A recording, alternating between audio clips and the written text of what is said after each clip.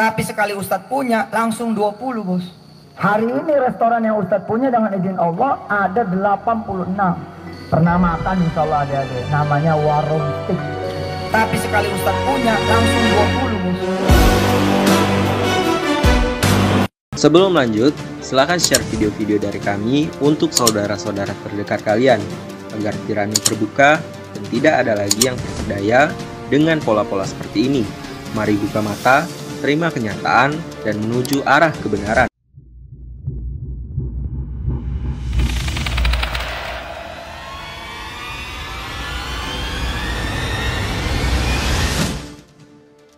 Jejak digital yang membuat Yusuf Mansur terdiam, kembali bermunculan.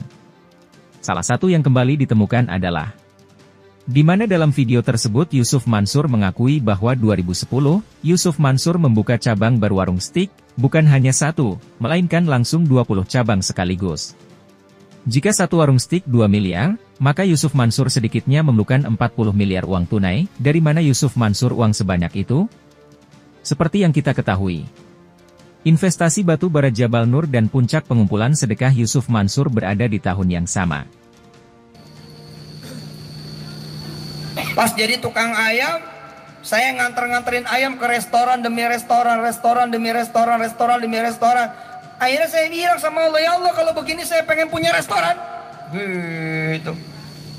Kabul. Prof Manto, kabul. Insya Allah jadi profesor.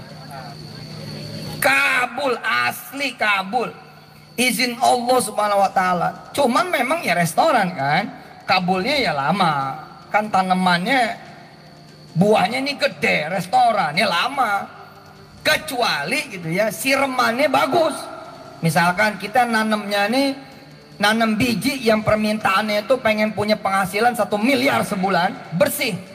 Udah potong zakat, udah potong sedekah, udah potong pajak, bersih. Ini kan gede nggak apa-apa juga tapi siremannya mesti bagus sekali nyiram 11 rokaat sholat malam di mana satu rokaatnya satu dua halaman nah itu baru jadi nggak apa-apa semiliar oke okay.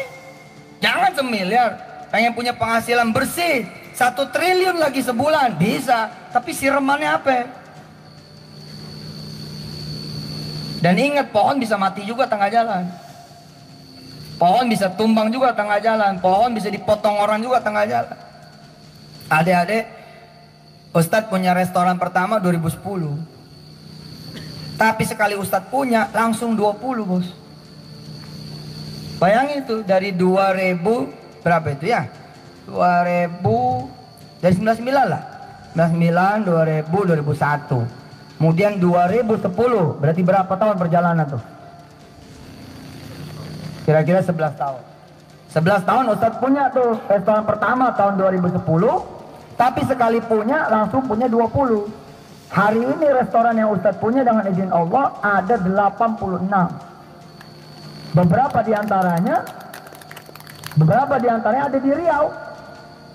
Pernah makan insya Allah adik-adik. Namanya warung stick. Warung stick and shake. Warung seteak. Pernah makan ya? yang kuning hitam WS nah besok kalau mau makan di warung stick silakan nggak usah bayar semua nih satu pramuka nih besok silakan pergi ke warung stick yang terdekat di Riau ini. Masuk aja nggak usah bayar di Panam ya. Di Panam nggak usah bayar yang bayar Pak Rektor.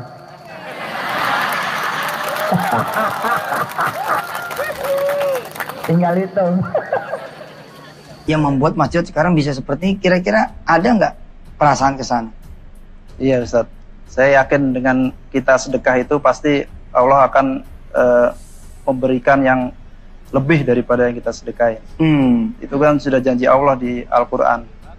saya ingat sekali, apalagi ini bulan Ramadan, hmm. saya jualan uh, kolak saat hmm. di Jalan Gatot Subroto di bawah patung pancoran Mas Dini lihat iya, iya. lihat patung pancoran dengan sedekah membabi buta dan brutal dan ini juga ada laporan Ustadz uh, kemarin saya juga mengajak teman-teman seperti tadi juga ada giwang emas 10 gram pun saya juga dapatkan itu dan ini sudah kita transfer ke yayasan PPPA hmm. dan yatim piatu ini slipnya juga sudah lampirkan di sini mohon doa restunya Ustaz.